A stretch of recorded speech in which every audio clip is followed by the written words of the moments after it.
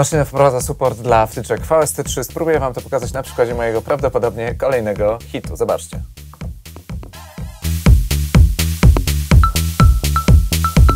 Everybody gets down together. Everybody gets down. Everybody gets down together. Everybody gets down. Ma to niebagatelne znaczenie z kilku powodów. Po pierwsze, firma Steinberg odchodzi od wsparcia formatu VST2 jako już trochę przestarzałego. Większość firm od dawna, już bardzo, bardzo dawna swoje wtyczki oferuje zazwyczaj w formatach oczywiście Audio Unit, AX dla ProToolsowców, ale właśnie VST2 i VST 3 jako tego nowszego formatu. E, są też firmy, które już odeszły jakiś czas temu od e, w ogóle formatu VST2 e, lub też ich najnowsze produkty, tak jak produkty Isotope na przykład dostępne są wyłącznie w formacie VST3 i na przykład zalicza się do nich Ozon 10 i Neutron 4, a więc dwa najnowsze, najważniejsze produkty powiedziałbym w, w, w tej puli, które również od niedawna wchodzą także w skład niektórych pakietów Native Instruments Complete, tak jak widzicie tutaj nie zainstalowane produkty, wśród nich 10, Ozon 10 Standard, ponieważ ja używam już wersji Advanced. Co więcej, firmy Isotope i Native Instruments połączyły się, e, przyjmując także e, Brainworks Plugin Alliance, a więc tworzą jedną wielką firmę, także można spodziewać się, że tych połączeń i, te, i ta integracja będzie jeszcze ściślejsza. Wersja 2.16 maszynę wprowadza także wsparcie dla procesorów M1, e, ale ja pracuję na PC, więc pokażę Wam na PC, jak to ustalić. Przede wszystkim, e, jeżeli chodzi o okno preferencji w zakładce Plugins, Locations, należy wskazać e, dodatkowe katalogi, a więc w szczególności Program Files, Common Files VST3, bądź też Program Files X 86 Common Files VST3. Tutaj zazwyczaj przechowywane są właśnie wersje VST3 pluginów i w zasadzie jesteście gotowi, by y, z nich korzystać. Jeśli będziecie uruchamiać jakieś starsze projekty, które zawierają wersję VST2 wtyczek, to oprogramowanie będzie próbowało załadować ich odpowiedniki VST3, jeśli oczywiście zaimplementowane są odpowiednie funkcje czy protokoły, ale e, w to już nie wnikam. Generalnie widać, że jest jakby przejście na ten format e, i raczej ten format będzie takim e, domyślnym, nadrzędnym. Spójrzmy na ekran. Teraz, e, próbując załadować e, plugin na ścieżkę, korzystając e, z przeglądarki komputerowej, znajdziecie po prostu dwa odrębne katalogi, VST2 i VST3. I tak jak widzicie, na przykład nie było w katalogu VST2 pluginów Isotope niektórych, nie było też na przykład YAM Audio, efektów low-fi, które bardzo, bardzo lubię. Plugin oczywiście najlepiej ładować z poziomu samego maszyna, więc włączę w tryb bypass e, domyślny pokładowy limiter i spróbuję wybrać teraz e, Isotope Ozon 10. Zwróćcie uwagę, że muszę tylko wskazać, e, że chcę korzystać z formatu VST3, wybrać producenta, w tym wypadku będzie to Isotope i odnaleźć plugin na liście, a następnie klikam Load. Plugin pojawił się tutaj już w przeglądarce. W przypadku tego procesora akurat większość operacji powinno odbywać się raczej E, no, raczej w samym komputerze, zatem tutaj klikam Shift Edit, aby otworzyć sobie interfejs. Everybody gets down together. Everybody gets down. Pozwolę w takim razie asystentowi e, Ozona wykonać swoją pracę. E, uruchamiam w takim razie algorytmy i zobaczmy, jakie ustawienia zaproponuje nam program. Everybody gets down together. Everybody gets down. Everybody gets down together. Everybody gets down. Everybody gets down together. Everybody gets down. Tak moje nagranie nie wymagało jakichś e, wielkich korekt. Prawdopodobnie najwięcej e, wypełnienia wymagał środek. E, posłuchajmy jeszcze raz przed i po.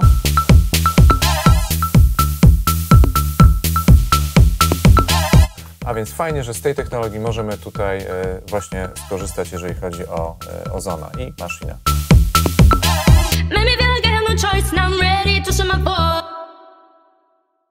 Oczywiście, jeżeli korzystacie z takich wtyczek jak Ozon i w ogóle wszelkiego rodzaju limiterów e, i masteringowych procesorów dynamiki, to większość z nich wprowadza jakiegoś rodzaju latencję. Więc kiedy teraz uderzę w pad, pewnie widzicie, jest opóźnienie. No i nie ma w tym nic e, dziwnego, tak po prostu działają te procesory, ale co bardzo istotne, e, procesor Isotope Neutron może działać w trybie bezlatencyjnym, co czyni go idealnym kompanem właśnie maszyny. Już pokazuję o co chodzi.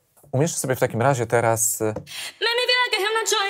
na tej ścieżce wokalnej y, procesor Isotope y, Neutron, a więc sięgam tutaj do tej listy, sięgam do wyszukiwarki, Neutron proszę bardzo jest, ładuję. Mogę także od razu też wskazać jakieś lepsze miejsce do tego procesora, na przykład przed pozostałymi efektami, mogę też rozłączyć pokładowy korektor. Tak jak widzicie, ten korektor jest dosyć ubogi, to znaczy on może być wystarczający w większości wypadków, jeżeli pracujecie z dobrymi próbkami, jednak do takiej precyzyjnej, profesjonalnej pracy przydaje się właśnie bardziej szczegółowy, bardziej dokładny korektor i Neutron jest idealny, dlatego że potrafi pracować w trybie bezlatencyjnym. No ale dobrze, może rozłączę w takim razie e, te efekty i spróbuję e, nauczyć procesor właśnie pracy, a więc otworzę sobie, czy może wyłą wyłączę pozostałe efekty e, i procesor, otworzę sobie panel procesora Neutron, już widać go teraz na ekranie i załączam sztuczną inteligencję. Posłuchajcie, e, co procesor nam wymyśli.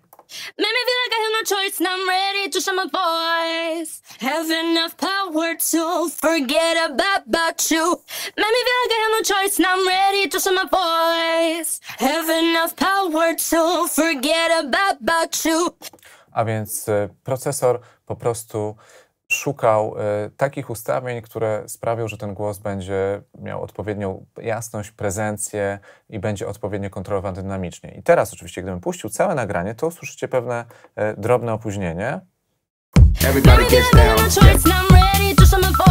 Jest opóźnienie, a więc trzeba procesor przełączyć w tryb bezlatencyjny. Służy do tego ta błyskawica tutaj. W trybie bezlatencyjnym nie działają jedynie dwa procesory, czyli Sculptor i e, Unmask, którego tutaj w tym wypadku nie używałem, a zatem z tych wszystkich dobrodziejstw tego procesora, czyli z bardzo dokładnego korektora, bardzo rozbudowanych modułów kompresji wielopasmowych i excitera możecie korzystać w trybie bezlatencyjnym i to działa naprawdę fantastycznie. Zresztą posłuchajcie.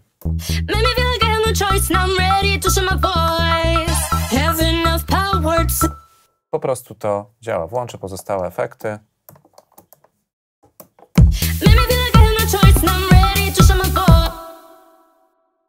Zalet formatów AST3 jest y, dużo. Kiedyś nawet nagrałem w kursie Domowe Studio Nagrań taki odcinek na ten temat. Y, możecie do niego zajrzeć, ale tak pokrótce.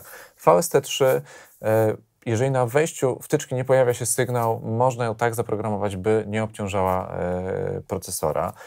Wtyczka, wtyczki VST3 mogą obsługiwać wiele wejść MIDI, ale też mogą przetwarzać sygnał audio, więc na przykład możliwe jest wykorzystanie wokoderów. Ja nie pamiętam, czy wcześniej można było korzystać z wokoderów w środowisku maszyny, teraz na pewno e, można. Wtyczki VST3 także automatycznie dostosowują ilość torów do rodzaju ścieżki, na jakiej zostaną umieszczone. Więc jeżeli mono, to działają w mono, jeżeli stereo, to stereo, jeżeli wielokanałowo, no to wielokanałowo. E, ich interfejsy mogą być skalowane i cała masa jeszcze innych drobniejszych e, zalet formatu VST3, no ale to, co dla nas najważniejsze, to, że działają wtyczki Isotope, że będziecie mogli korzystać na przykład z e, Reason Rack Plugin, a więc instrumentów Reasona Propeller Heads firmy e, w środowisku Machine. E, też użytkownicy Maca na przykład będą mogli korzystać chociażby z instrumentów Rolanda, które do tej pory zdaje się tylko na PC były dostępne w formacie właśnie VST3. No i tych instrumentów oczywiście i efektów jest e, jeszcze więcej, także ten format e, wydaje się e, będzie teraz tym formatem domyślnym. Także tyle, mam nadzieję, że to było ciekawe. Dzięki, do zobaczenia.